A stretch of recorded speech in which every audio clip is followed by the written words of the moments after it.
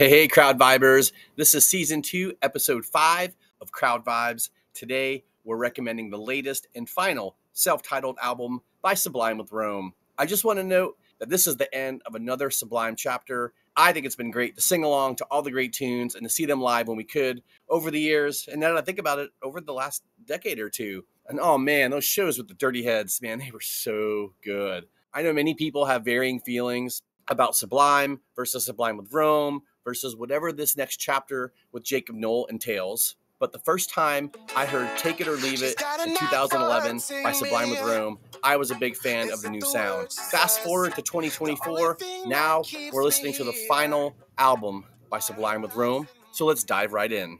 First up, Cool and Collected.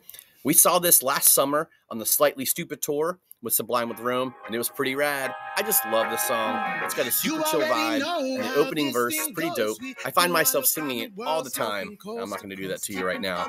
And then after that, um, I just try to figure out what Slightly Stoopid saying for the rest of the song. So, but I have I like it, and I love singing along to it. Tangerine Skies and All I Need have been in my feed for a while, and I'm digging on those tunes.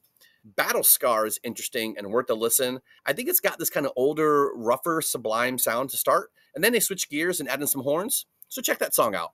Who Do You Love? Mind Control and Holiday uh, take the album on a bit of a slower pace, but they're worth a listen to see if you like them.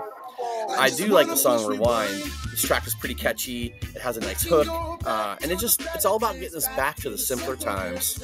California radio has a DJ sort of sound to it, maybe a scream all your favorite bands that shaped your musical interest feel to it. It's pretty neat. I need to keep listening to see how I feel about it. I think it will grow on me. And then last but not least, Love is Dangerous. It's a solid closer for the album. I really like this song. It's definitely going to be on the 2024 Crowd Vibe Summer playlist. All right, well, that's it. After you listen to the new Sublime with the Room album, drop your favorite songs in the comments. If you like the crowd vibes, you know the drill. Smash, share, and subscribe. Thanks, y'all. Enjoy the crowd vibes.